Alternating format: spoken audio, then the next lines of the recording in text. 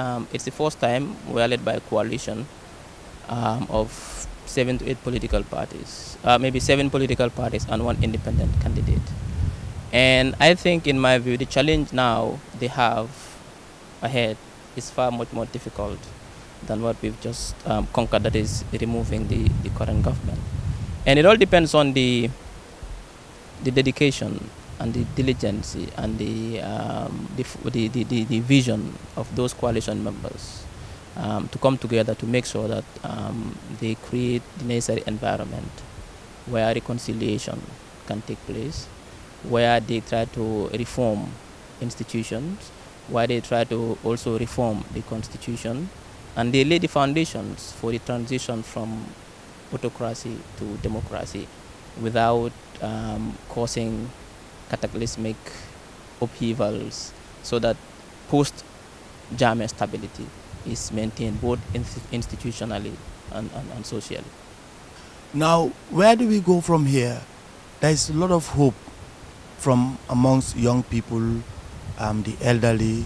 Everyone is kind of buoyed by this newfound feeling.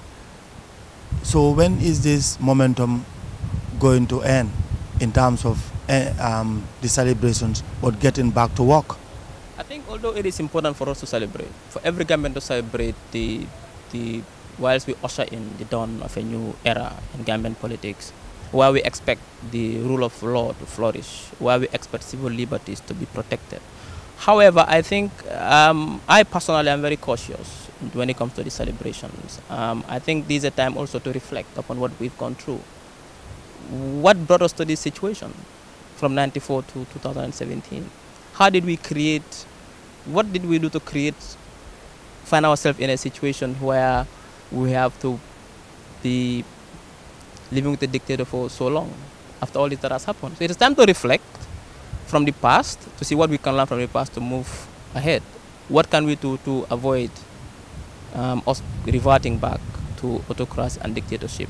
So for me, it's a time to. For me, it's more of a time to reflect than to, to celebrate. And right now, as I say it, there's no time, in fact, for celebration. We have work to do.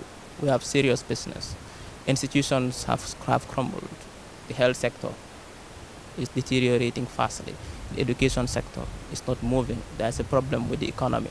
There's no time for the, with the coalition and the new government. That is why I'm even surprised until today we couldn't even know uh, the coalition did not even name a cabinet yet. Tomorrow is Monday.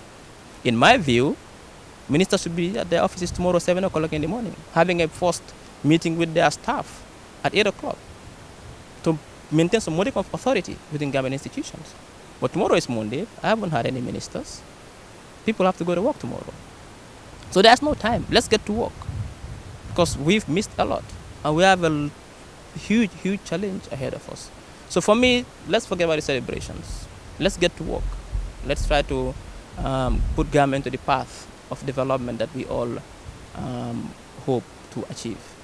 Finally, uh, Dr. Ceesay, you have time to peruse or read part of the the memorandum of understanding between the seven to eight political parties that form the coalition. Now we have a coalition government.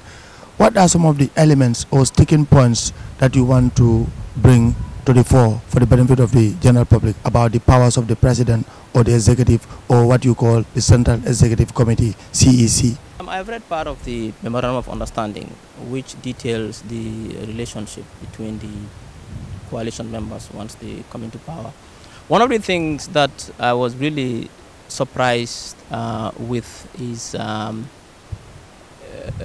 saying that the flag bearer, once elected into office, will serve for only three years, which is in conflict with the constitution. Because when we Gambians voted, we voted for the president. We gave him a five-year mandate but the CEC or the Coalition Memorandum of Understanding is saying he should serve for only three years. And also, another thing is that in fact that same MOU barred the president to contest in the next elections.